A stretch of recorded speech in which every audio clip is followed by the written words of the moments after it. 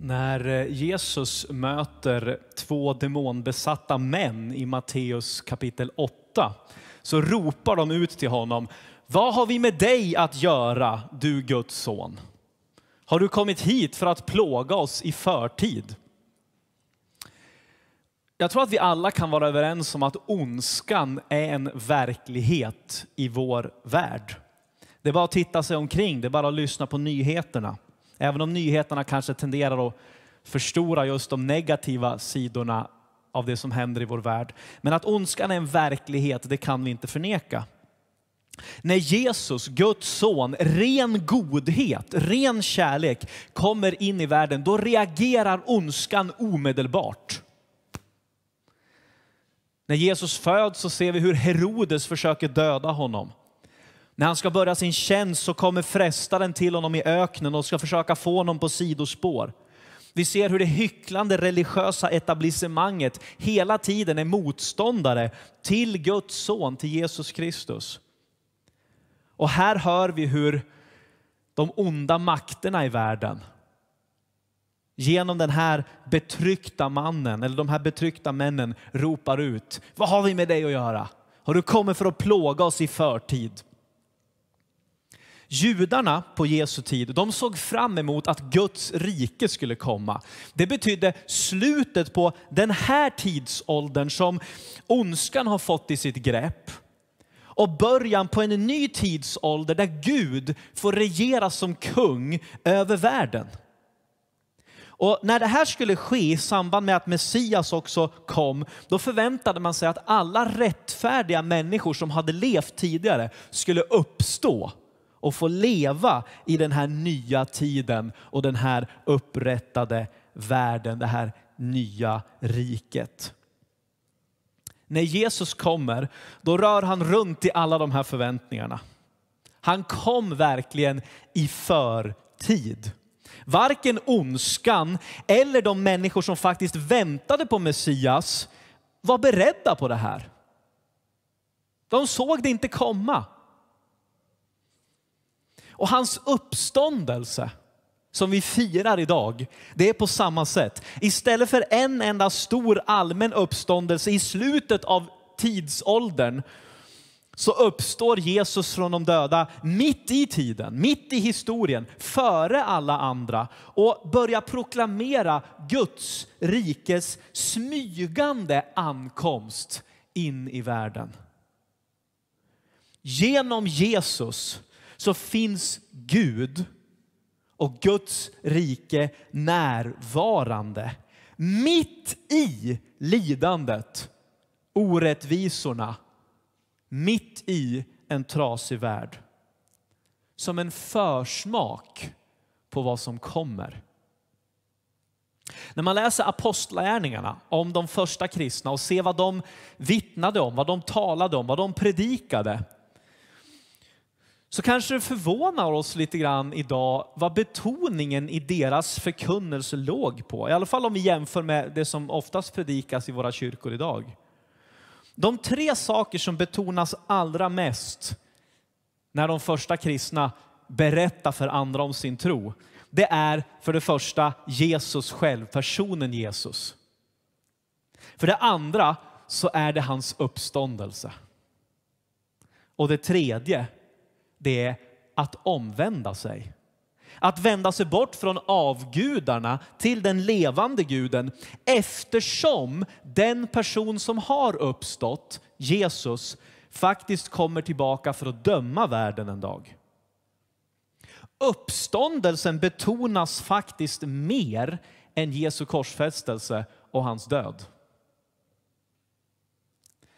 Uppståndelsen är själva grundbulten i den kristna tron. Paulus säger att vår tro är meningslös och verkningslös utan Jesu uppståndelse.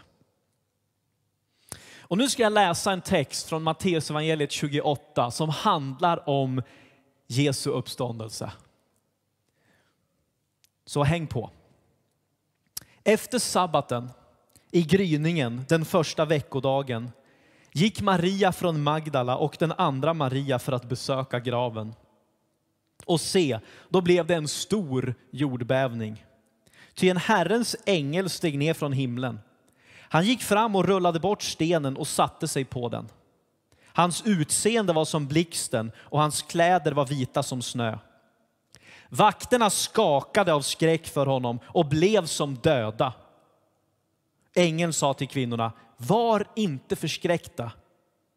Jag vet att ni söker Jesus, den korsfäste. Han är inte här. Han har uppstått så som han har sagt. Kom och se platsen där han låg. Och gå genast och säg till hans lärjungar att han har uppstått från de döda. Och se, han går före er till Galileen. Där kommer ni att få se honom. Jag har nu sagt det till er. De skyndade sig då bort från graven under fruktan och i stor glädje och sprang för att tala om det för hans lärjungar. Och se, Jesus kom emot dem och hälsade dem. Och de gick fram och fattade om hans fötter och tillbad honom. Då sa Jesus till dem, var inte förskräckta. Gå och säg till mina bröder att de ska gå till Galileen, där kommer de att få se mig. Medan de var på väg kom några ur vaktstyrkan in i staden och underrättade översteprästerna om allt som hade hänt. Dessa samlades med de äldste och beslöt att ge soldaterna en stor summa pengar och sa, säg att hans lärjungar kom på natten och rövade bort honom medan vi sov. Och om landshövdingen får höra det ska vi tala med honom och se till att ni kan känna er helt lugna. De tog emot pengarna och gjorde som de hade blivit tillsagda. Och än idag är detta rykte spritt bland judarna. De elva lärjungarna begav sig till det berg i Galileen dit Jesus hade befallt dem att gå. Och när de såg honom tillbad de honom, men andra tvivlade. Då trädde Jesus fram och talade till dem och sa, jag har fått all makt i himlen och på jorden. Gå därför ut och gör alla folk till lärjungar. Döp dem i Faderns, Sonens och den helige Andes namn och lär dem att hålla allt vad jag har befallt er. Och se, jag är med er alla dagar till tidens slut. Kan en rationell människa tro på den här berättelsen? På uppståndelsen? Idag så talas det mycket om konspirationer och konspirationsteorier. De första kristna var uppenbarligen också utsatta för anklagelser om att vara i konspiration med varandra. Att de bara hade hittat på det här. De kom och rövade bort kroppen. Och den konspirationsteorin fick vann stort rykte, står det, bland de religiösa människorna på hans tid. Ibland ligger det ju faktiskt sanning i konspirationsteorier. Men i de flesta fall kan man nog säga att de frodas som bäst i sammanhang där både missnöje och någon slags faktaresistens råder. Och faktiskt är det ju så att storskaliga konspirationer, de har en tendens att alltid bli avslöjade förr eller senare. Det är liksom alltid någon som inte kan hålla tyst. Eller som någon sa, det enda sättet för tre personer att bevara en hemlighet är att två av dem är döda. Som kristna ska vi alltid stå för sanningen.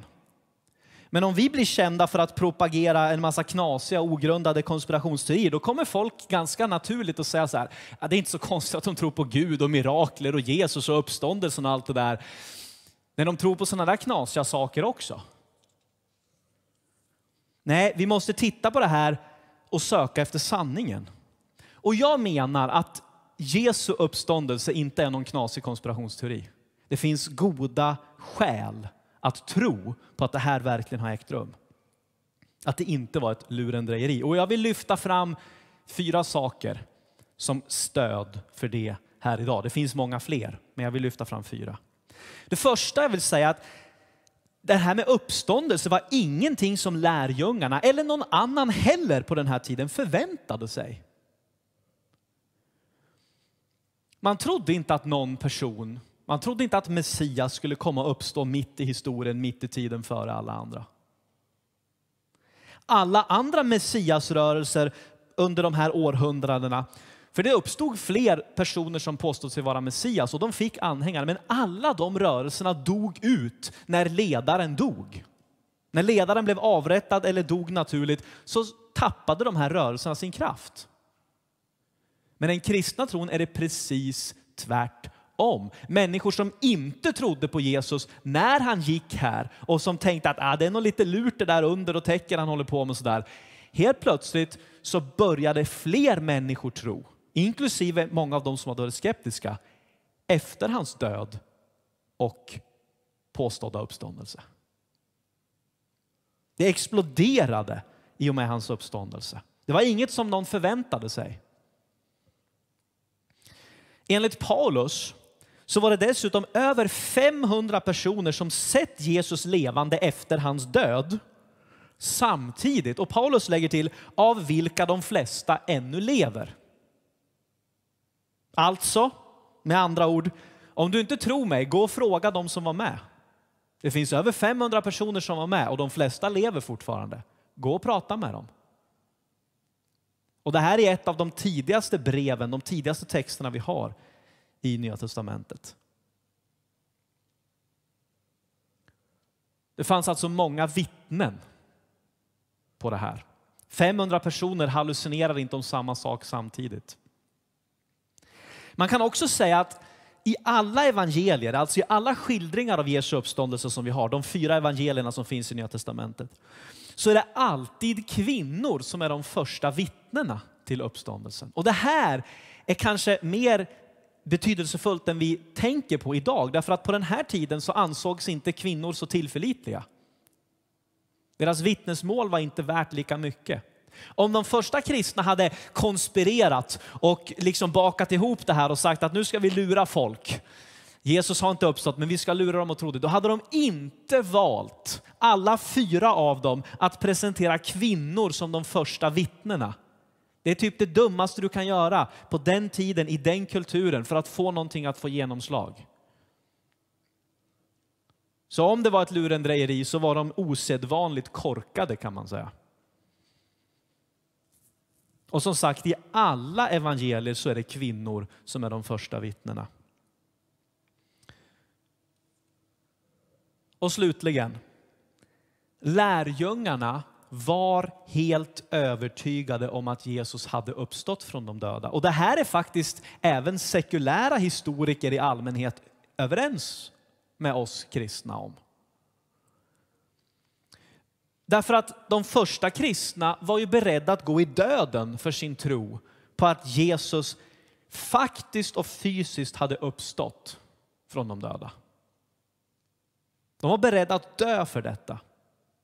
Det finns ingenting i skildringarna som pekar på att de tvekade på att det hade hänt. De var otroligt osäkra på vad det betydde. De blev chockade, för det var som sagt inget de förväntade sig. Men att det hade hänt, det var de helt övertygade om. Och det förändrade deras liv. Det här är några skäl som jag menar gör att vi faktiskt kan tro på uppståndelsen. Och så säger någon så här, men vadå, människor uppstår ju inte från de döda. Ja, men då utgår man ju från att Gud inte finns, att det inte finns något övernaturligt. Att Gud inte kan göra vad han vill. Om Gud finns så är det varken konstigt att han har skapat världen, att han kunde få Jesus att födas genom en jungfru eller att han kunde uppväcka honom från de döda. Om Gud finns så är inget av det konstigt. Och då måste vi titta på vad pekar vittnesmålen och de historiska beläggen mot. Men kanske det viktigaste för oss som tror, det är att fundera över vad betyder egentligen Jesu uppståndelse från de döda? Och jag vill lyfta några saker här också. För det första så betyder det att de onda krafterna i världen är besegrade. Ni kommer ihåg att jag började sa att ondskan den reagerar omedelbart när Jesus kommer in i världen. Och på korset ser det faktiskt ut som att ondskan har fått övertaget. Jesus säger till och med så här i Lukas 22.53. Detta är er stund. Nu råder mörkrets makt. Och Paulus han skriver att denna vishet har ingen av den här världens härskare känt. Om de hade känt den skulle de inte ha korsfäst härlighetens Herre. Ondskans makter tänkte nu har vi fått övertaget. Nu har vi dödat Guds son. Och på sabbaten efter korsfästelsen så ser vi hur lärjungarna är helt vilsna. De är helt utan hopp. De börjar fundera, nej, Jesus var nog inte Messias ändå. Det var på väg att gå med den här messiasrörelsen på samma sätt som alla de andra när huvudpersonen dog. De börjar gå tillbaka till sina gamla liv. Men så händer det här chockerande att Jesus faktiskt uppstår. Och Det här betyder att döden och de onda krafterna är besegrade. Jesus har all makt i himlen och på jorden. Och Då kan man ju undra, men varför finns det då fortfarande ondska kvar i världen? Och Man brukar kunna ta en bild på det här. Ni vet andra världskriget och dagen D när de allierade landsteg på stranden i Normandie. Och man brukar ju säga att när de vann det här slaget, då var kriget liksom vunnet. Då hade man, då hade man segern, rott segern i land så att säga. Men sen fanns det ju fortfarande fler slag att klara av för att liksom göra det här till en verklighet i alla de områden och platser där nazisterna och axelmakterna hade fått grepp. Och lite grann så är det här också. Jesu död och uppståndelse är som dagen det. Segern är vunnen, men det finns några mindre slag kvar. Och vi också, behöver också komma ihåg, som jag sa förut, att Guds rike enligt Jesus, det kommer liksom ofta smygande. Det är som ett frö som är jättelitet som planteras och växer upp och blir någonting stort. Eller det är som gäst som planteras i lite deg. Och det man ser inte bakterierna där, man ser inte vad som händer, men det händer saker. Det genomsyrar till slut allt. De som tror får del av det här redan här och nu. Och Gud verkar, hans strategi är att förvandla människors hjärtan. Inte bara komma med stora hammaren och slå sönder all ondska, utan förvandla människors hjärtan genom det Jesus har gjort. Så att vi, du och jag, kan bli en del av förändringen i världen.